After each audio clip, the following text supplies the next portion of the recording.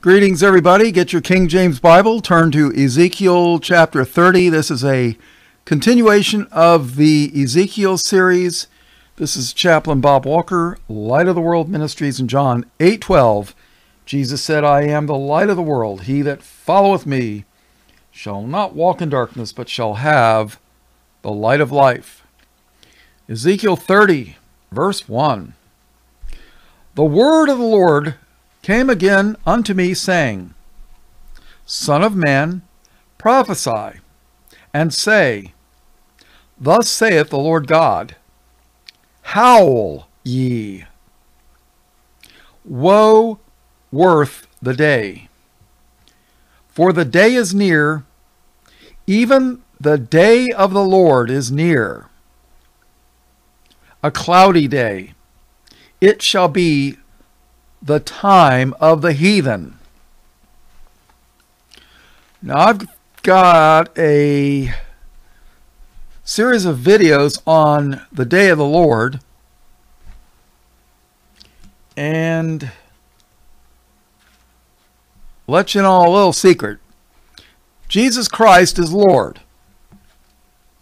There's a whole bunch of people say, well, the day of the Lord and the day of Christ is two different things. It's not the same. Basically, pre trib rapture crowd is basically saying, no, they're basically denying that Christ is Lord. Essentially, when you think about it. So, because they want you to think the day of the Lord is the second coming when destruction happens upon the wicked. But the day of Christ is the pre trib rapture. We're going to fly away out of here. I don't think so. I think Jesus Christ is Lord, and the day of Christ and the day of the Lord is the same event because Jesus Christ is Lord. There's no pre trib rapture. There's the pre trib rupture that's going to happen. Yeah. And uh, all those church people that believe this garbage because they trusted their pastor, they're paid for, paid off, paid for pastor. Well, they're going to get what they deserve. One thing I got to say uh, Kent Hovind, really good with the um, evolution stuff even though there's a lot of things I disagree with him with. He thinks every race descended from Adam. I don't think so. I mean, you know, did Adam and Eve really uh, have one black baby and a white baby and a yellow baby and a green baby and a polka dotted purple baby? Uh, you know, really? You know? I mean, you know, you might have a dog uh, one's a Great Dane and the other's a Chihuahua, but they're both dogs. But I'm sorry, I just don't think. Um, I don't know. He doesn't. Uh, I I don't believe he teaches the uh, what happened in Genesis six with the fallen angels. Uh, he's one of those that thinks everybody can be saved. I don't. I mean, Jesus called Judas Iscariot a devil.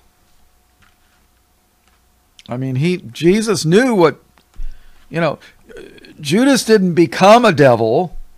Jesus, Judas was born a devil. That's just the way it is. But that's why they want you to think that everybody can be saved because then we don't have enemies. We just have potential sheep. You know, all they got to do is believe in Jesus and they're saved. And now they're part of the, the flock. But that's not what the Bible teaches in Genesis and Exodus and Leviticus and Numbers, Deuteronomy. No, God told Israel to go into the land and kill everything that breathed. But Chaplain Bob, that was that evil, cruel Old Testament God. We don't have that anymore. Now we got Jesus. He loves everybody. Uh, whatever. You know. Let's look at this carefully. Ezekiel 30, verse 3. For the day is near, even the day of the Lord is near. A cloudy day. It shall be the time of the heathen. Now, if you're interested, I've got a playlist on Day of the Lord where I contrast Day of Christ, Day of the Lord. Verse 4. Listen to this carefully for all those that think everybody can be saved. And the sword, war, right? And the sword shall come upon Egypt, and great pain shall be in Ethiopia. Now, Egypt and Ethiopia, Libya, those were where the children of Ham went. And we all know Ham's not kosher. That's a joke. Um, I'm just wondering who named pork Ham? Who named it that? Well, I didn't do it. I mean, it was called ham before, you know, I had ever eaten any. But, uh, you know, just because they live in an area that is now predominantly uh, populated by pre sub Saharan Africans of a dark color doesn't mean that ham was originally black. I mean, you, you go to uh, what they now call Zimbabwe, back when it was called Rhodesia, there was a lot of white farmers. Well, they killed most of them, or they fled.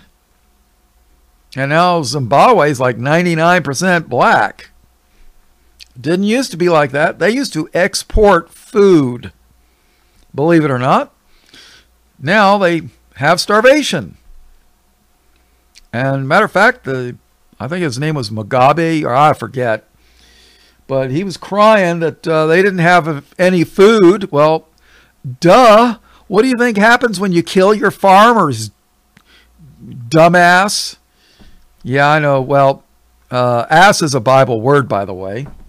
And dumbass is another uh, Bible phrase. The dumbass speaking with man's voice. Yeah. I'm not trying to be crude, but, you know, they deserve to starve. Instead, what does the West do? Uh, our people that are in charge, the enemies, they send them food and feed them. I personally, I'd have let them all starve. Oh, that's cruel, Chaplain Bob. Well, you know, kill your farmers, go hungry. I don't care. I really don't. Matter of fact, uh, Zimbabwe, Rhodesia, whatever, uh, was begging their farmers to come back. Well, until they get resurrected from the grave, it's kind of hard for them to come back, you know. Well, a few of them survived, but uh, but the point is, South Africa used to be mostly white. Now it's the opposite. It's not anymore. And they're doing to South Africa what they're doing to what they did to Rhodesia, Zimbabwe. And I'm sure they'll be crying that they don't have any food either. But just because modern day Ethiopia is predominantly black doesn't mean that it was back in the days of Ezekiel. I suspect that Ham and all those descendants intermarried with the Canaanites. But the Bible doesn't tell you who Ham's mother was, doesn't tell you who Ham's wife was. I suspect that uh, they could have been Canaanites. I don't know. All I know is in verse 4 of Ezekiel 30, they, uh, and verse 5 doesn't speak very nice about them. Verse 4 And the sword shall come upon Egypt, and great pain shall be in Ethiopia when the slain shall fall in Egypt, and they shall take away her multitude, and her foundations shall be broken down. Doesn't sound like God likes Ethiopia or uh, Egypt, does it? Listen to this, verse 5. Ethiopia and Libya and Lydia and all the mingled people What does mingled means? It means mixed. You ever gone to a party, you know, and somebody says, "Oh, hey, go mingle with, you know, everybody." means go mix with the crowd. You know, don't sit in the corner because you don't know anybody. That's what mingled means. It means mixed. Ethiopia and Libya and Lydia and all the mingled people. Mingled with what? Probably the Canaanites. And Chub and the men of the land that is in league shall fall with them by the sword. Doesn't sound like God likes these people, does it? No. Verse 6 Thus saith the Lord They also that uphold Egypt shall fall, and the pride of her power shall come down. From the tower of Syene shall they fall in it by the sword, saith the Lord God. And they shall be desolate in the midst of the countries that are desolate, and her cities shall be in the midst of the cities that are wasted. And no, they're not stoned out of their minds. Verse 8. That's a high school saying, by the way. Yeah, I'm I'm old. Uh, what was that movie? Fast Times at Ridgemont High. Uh, uh, I don't know. Penn. What was it? Sean Penn or whatever. Oh well, man, I'm wasted. Or something like that. I don't remember. I never watched much movies, even back in the day.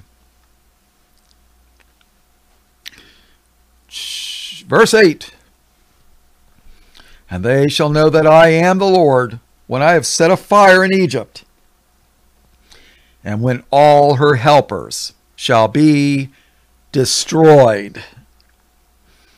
In that day shall messengers go forth from me in ships to make the careless Ethiopians afraid, and great pain shall come upon them as in the day of Egypt, for lo, it cometh. Thus saith the Lord God I will also make the multitude of Egypt to cease by the hand of Nebuchadnezzar, king of Babylon. Now, what's interesting is when you read Daniel chapter 4, guess who wrote it? Nebuchadnezzar. I suspect he I suspect he came to the Lord. I, I really do. I mean, how many people do you know that wrote a, a chapter in a book in the Bible and were not saved? I mean, and and the Lord gave him a kingdom. Verse 11. So, speaking of Nebuchadnezzar, he and his people with him, the terrible of the nations, shall be brought to destroy the land. What land? Egypt. And they shall draw their swords against Egypt and fill the land with the slain.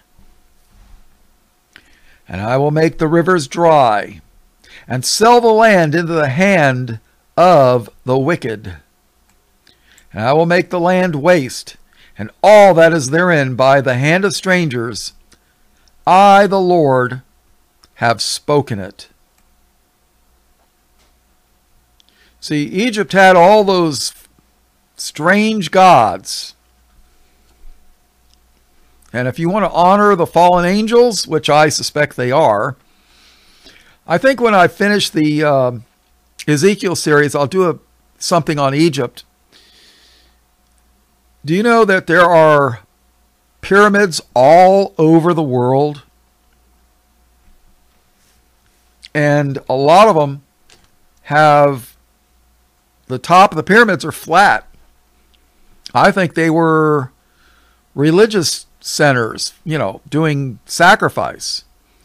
There's things down in Mexico and Central and South America where they built uh, pyramid type things.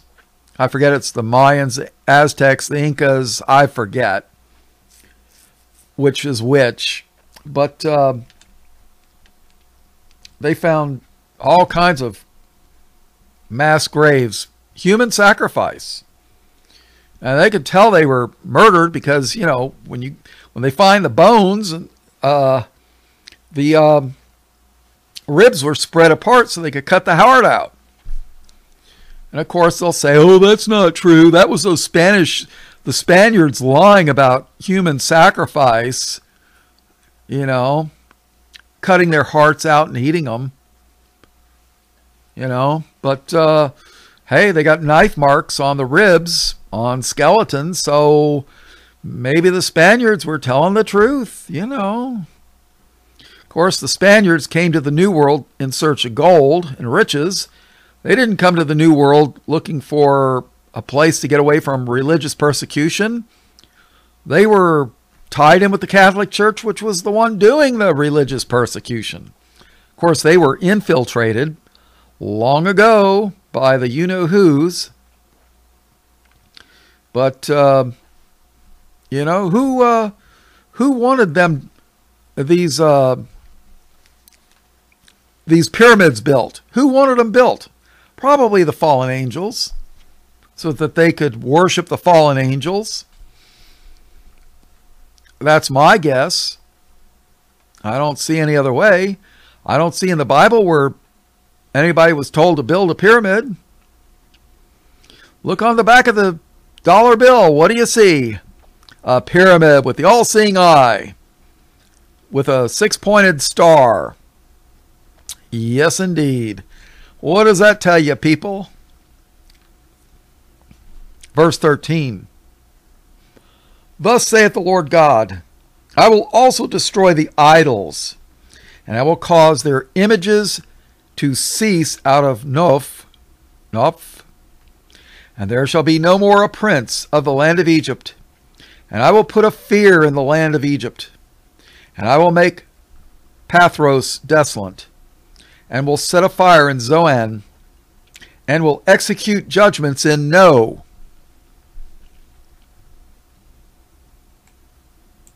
I think that was my uh, oldest daughter's first word. No. Yeah. She thought her name was No. Jessica, no! Get away from that. And then she learned how to say, No! Jessica, give me that back. No! And then her second word was mine. And then she she combinations, you know, she'd steal her sister's toy and go, "No, mine." Yeah. Ah, the joys of parenthood. What can I tell you? Yeah, now they don't want to talk to me. So, I'm the religious nut. Oh well. What can I tell you? Of course, I was a terrible husband to their mom. But that's the way it goes, I guess. And I will cut off the multitude of No. Verse 16, and I will set fire in Egypt. Sin, sin shall have great pain. I'm not talking to know if they're talking about wickedness or a place called sin. And No shall be rent asunder, and no shall have distresses daily. The young men of Aven and of Pibeseth shall fall by the sword, and these cities shall go into captivity. At Tehaphnehes, ah oh boy, also the day shall be darkened, when I shall break there the yokes of Egypt, and the pomp of her strength shall cease in her. As for her, a cloud shall cover her, and her daughters shall go into captivity. Thus will I execute judgments in Egypt, and they shall know that I am the Lord. Verse 20. And it came to pass in the eleventh year, in the first month, in the seventh day of the month, that the word of the Lord came unto me, saying, Son of man, I have broken the arm of Pharaoh, king of Egypt, now, this is a figure of speech. I mean, it's like, you know, his army. It's like he broke the arm of the army. He didn't literally break Pharaoh's arm. And uh, it's kind of hard to wield a sword when you have a broken arm, you know? Son of man, I have broken the arm of Pharaoh, king of Egypt, and lo, it shall not be bound up to be healed. To put a roller to bind it, to make it strong to hold the sword. Therefore, thus saith the Lord God Behold, I am against Pharaoh, king of Egypt, and will break his arms, the strong and that which was broken. And I will cause the sword to fall out of his hand. And I will scatter the Egyptians among the nations, and will disperse them through the countries. And I will strengthen the arms I will strengthen the arms of the king of Babylon and put my sword in his hand, but I will break Pharaoh's arms, and he shall groan before him with the groanings of a deadly wounded man. But I will strengthen the arms of the king of Babylon, and the arms of Pharaoh shall fall down, and they shall know that I am the Lord, when I shall put my sword into the hand of the king of Babylon, and he will stretch it out upon the land of Egypt. And I will scatter the Egyptians among the nations and disperse them among the countries, and they shall know that I am the Lord. And I forgot my point with Kent Hovind, the uh, guy that's really good with uh, evolutionary stuff. Uh, he went to prison for nine something years, and uh, for basically uh, spending his own money. Yeah. Look up the, the law called structuring. You know, like structure, structuring. Uh, they say if you put money in the bank under uh, over ten thousand dollars, that uh, you they a bank has to report it to the government. But if you put money under ten thousand dollars, then you're trying to avoid the law to have the money reported, and that's also breaking the law. So if you're putting money in the bank, technically it's against the law. And we know who runs the banks, don't we? Yeah. Same people that run the government. So, yeah, spending his own money was illegal. Or depositing his own money. So he went to they well, of course, the government lied and said he went to uh, prison for ch- tax evasion, but uh, that's not true. You look up the court records; it's structuring. So, yeah. So if you made uh, two five thousand dollar deposits within, oh, I don't know, any amount of time, the government can charge you with structuring. Oh, yeah, you try to avoid that $10,000. So if you put $500 a week in the bank for, I don't know, 20 weeks, 21 weeks, why, you're guilty of structuring. You can go to prison. But the good thing is about Kent going to prison was he had time to study the Bible on his own. And all that pre trib rapture garbage that he had been taught in college, Bible college, he says, wait a minute. How can this be true? Bible clearly teaches Christ returns once at the end of the tribulation. So he went from being a pre-trib to post-trib. And that was one of the things I used to blast him on back before he went to prison. I said, how can a guy that knows that much about the Bible be pre-trib rapture guy? Well, he changed his tune. Praise the Lord. And I may not agree with him on every point, but I'll tell you what. Uh, when your kids are taught evolution, let them listen to Kent Hovind for a while. And they'll realize what a foolish, evil, devilish doctrine that is. Evolution, that is. So, but yeah, he figured it out. Pre trib rapture, a lie. A lie from the pit of hell, designed to make millions of people that go to church Well, you don't go to church. Christians are the church, but they go to a, um, I guess you could call it a government indoctrination center with the name church in it. So they could deceive them.